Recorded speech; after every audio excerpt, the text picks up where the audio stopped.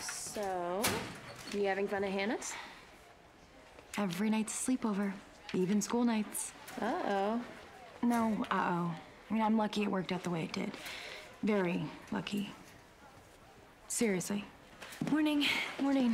Hey, did you talk to Garrett yet? Not yet. I've been slammed with practice and the new workout. Okay. Uh, well, you, do you want me to try? Yes. You're better at getting people to talk anyway. I am. You are. Yeah. Tag up later, okay?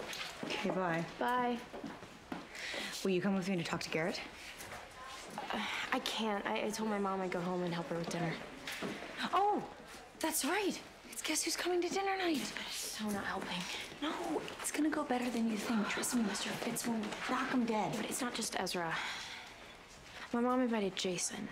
Wait, she did what? Yeah, he was here at school and she was talking to him and invited him to dinner. She invited him into your house? Yeah. She said she feels sorry for him. Mm, I guess I understand.